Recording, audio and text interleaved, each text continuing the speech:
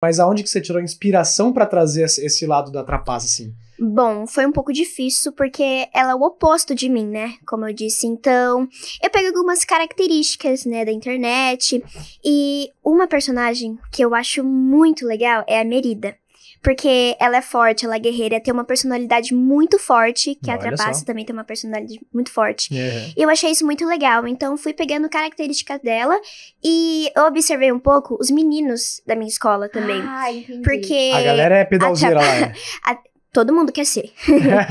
A Trapaça, é, ela é uma menina meio menino, né? É. Praticamente. Então ela é, não se veste como menino, mas ela né, anda como menino. Ele né? umas moleques É, então, da- das ruas. Aí, então, tá? eu eu fui observando como os meus amigos meninos andam, né? Assim, o jeito deles.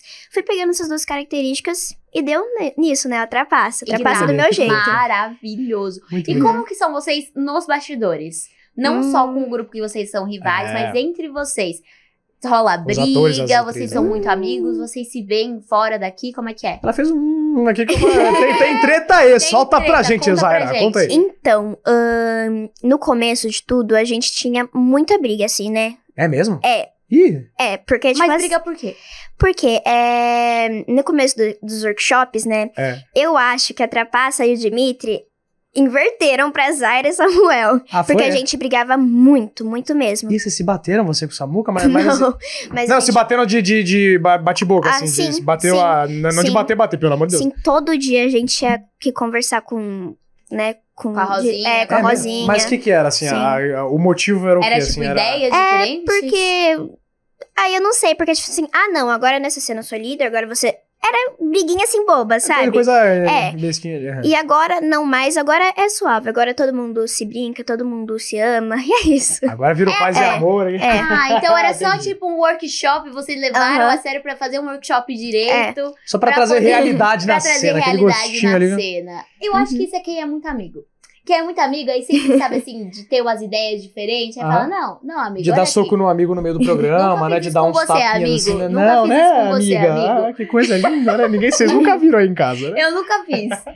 Mentira, Se fez, ama, eu quero uma ama. prova. ah, eu vou pegar, tenho várias. Aí, aí a produção vai colocar aqui 10 vídeos. Eu, ah, não era eu. Sei, sei. né? Mas ó, a gente mostrou a cena agora, eu queria saber de você, Zairinha, se tem alguma cena favorita que marcou assim a tua vida como Hum. trapaça até agora, né? Que já tem ido pro ar, que você não passa né, daquele spoiler. Sim. Tem alguma que te marcou muito, assim, que você falou, putz, essa aqui foi top. Ou se não Ah. for ainda pro ar, pode contar meio por cima, assim. É, acho que ela já foi pro ar. Ah, tá. Foi no primeiro dia que eu entrei no estúdio do Pedalzeira mesmo. Ah, é? Eu fiquei impressionada porque aquilo era tudo pra gente, né? Então eu falei assim, nossa, que oportunidade incrível, né? Então tem que dar meu máximo aqui. Eu fiquei muito feliz com a decoração, com o pessoal da arte que se esforçou muito, gostei Uhum. bastante.